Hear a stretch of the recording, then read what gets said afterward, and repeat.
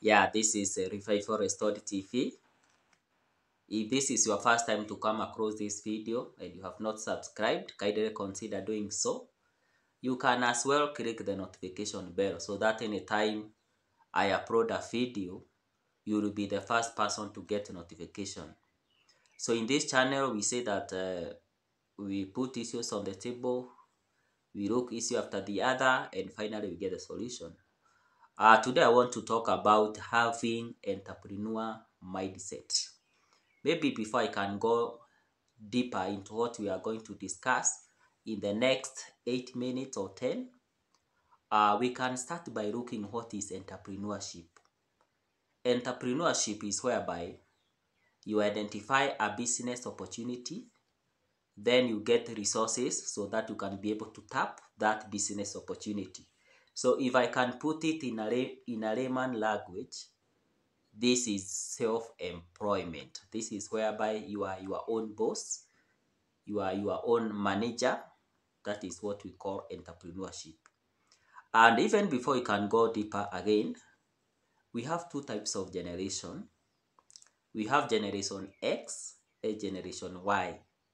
Generation Y are those people uh, who are born from 1980, 1980 and above. And you find that in this generation, these are this, this is a special generation because these are the people they cannot stay in one job for a long period of time. They get bored by doing the same thing. And that is why there is a conflict between the two generations, generation X and generation um, Y, because now our parents, our those people who are born below 1980, they have that notion. And they used to tell their children, go to school, work hard, become a pilot. You know? But now here we have a conflict because the current generation, they are not so much into that. You know? These are the people that want, you know, they get bored by doing the same thing and that is why you see most of them are resigning. Despite having good job they resign. But now in the previous generation that existed uh, they believed that uh, you have to secure a job most likely in a government because they looked to they looked one thing job security. And uh, many people could do as much as they could to secure a job, especially in the government. You know, you could stop your business and then you go and you secure a job, even the smallest job in the government, because of job security and something that was pensionable. Uh, when I talk about entrepreneur mindset, this is whereby you have a, a, a set of attitudes because we can say mindset is a set of attitudes and attitudes is the way you look at things. The way you understand things the way you look at the things the perspective that you have when you look at things. That is your attitude. Because business is all about attitude. Entrepreneur mindset. For you to succeed in anything that you are doing as a businesswoman as a businessman it is it starts from your mind. And uh, mind i can compare your mind with a with a rubber band. A rubber band you can stretch you can stretch it. But at the same time if you leave it like that it will just remain the natural way. So your mindset can be stretched to your full potential but again, if you just remain like that, then it will be natural way. It will be naturally small. Uh, I can give two people uh, 20 books or 30 books each. And I tell them to go to a certain city, let's say in Thika. But at the end of the day, these two people there will be one person who will come with 20 books. He have not sold anything. But the other person will come with having sold all the books. Why is it why is this possible? Yet I have exposed these two people in the same environment, in the same place, they are meeting the same client, but here one person come with all the books that I have given him to go and to sell. But the other person have sold all the books. It is because of attitude. It is because of the way they look at things. Probably one person faced a lot of objection and rejection, and uh, he was not able to cope up. But the other person was able to persevere, you know, he was able to, you know, to convince the client the importance of, you know, having this book. That is mindset. That is attitude. Because I have met with a lot of parents and they are telling me, you know what?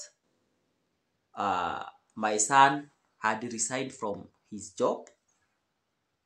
He was a, a doctor. He has resigned from his job and he has started his own business. And there is nothing wrong with that.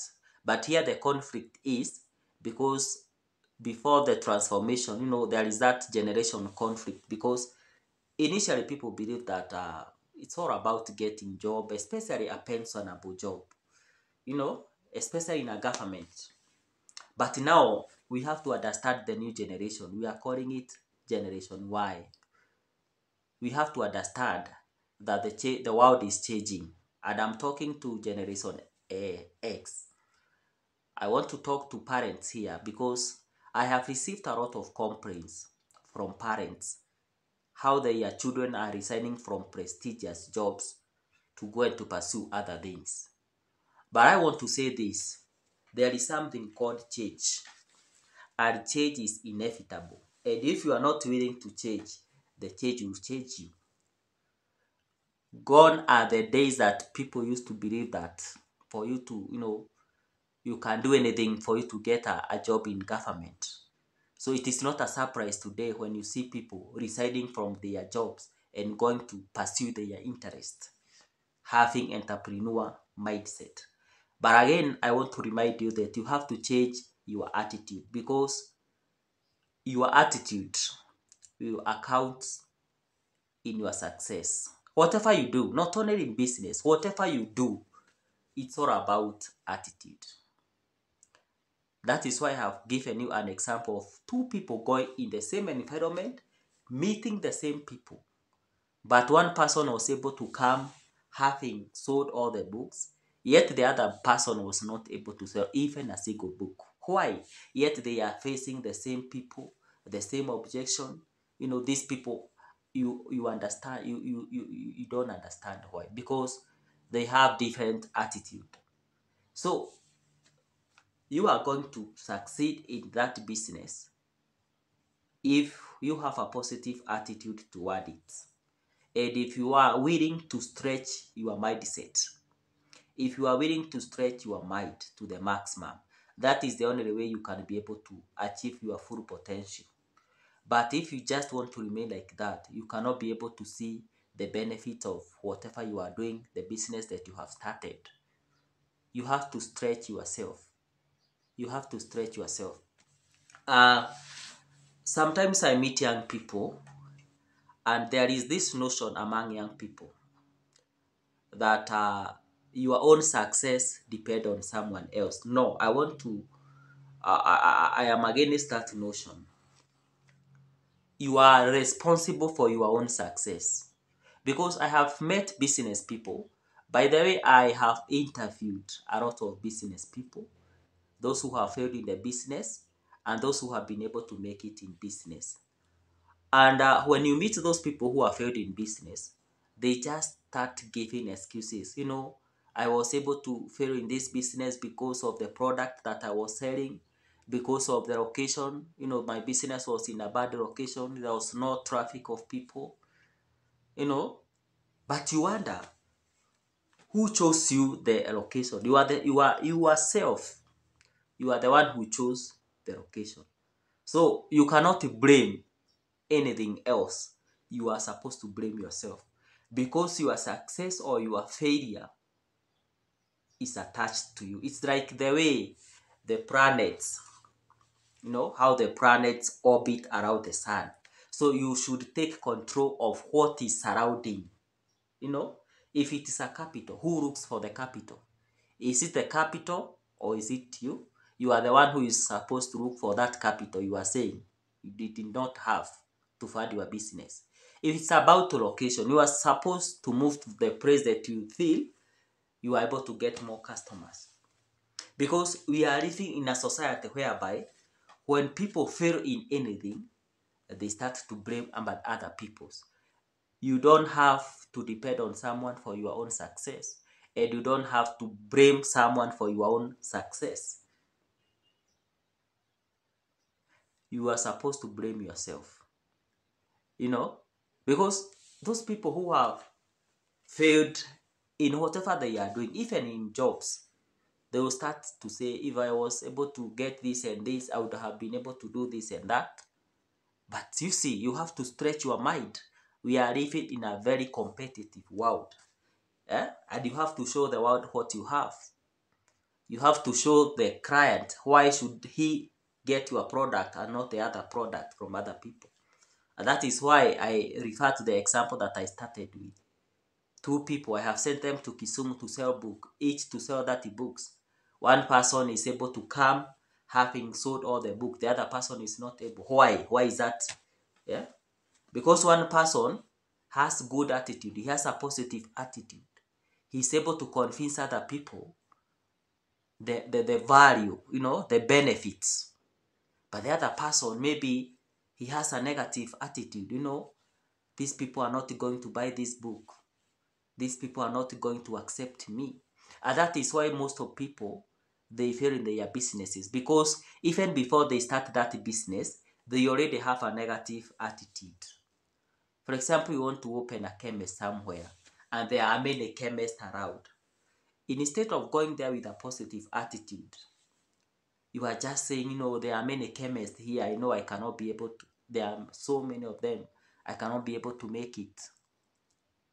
You see? Definitely, you will not be able to do it you will not. So it have to start with your mind. Whatever you are doing, for you to see the benefit of that, it have to start with your mind. Stretch your mind like a rubber band so that you can be able to see your full potential. Wake up early. You know, some people are lazy. They, you know, they open their businesses, you know. When other people opened early, you are you you wake up when you are late. You are not able even to get the potential client. So you have to stretch your full potential. That is what I meant. You have to stretch your potential so that you can be able to see the benefit, to see the benefit of that business that you, you want to start. Because you are not the first person to start that business. There are many people who have started that business. So you have to show the world what you are able to do, other people cannot be able to do. Thank you uh, continue sharing this so that we can be able to encourage other people so that we can be able to open you know to open other people's mind and we stretch our mind just like a rubber band if you stretch the rubber band it have a potential of expanding but if you leave it like that it will remain naturally small so you have to stretch your full potential because most of the people watching here they have full potential. They can do amazing work. Only that you don't want to stretch your mind. Thank you and share this video.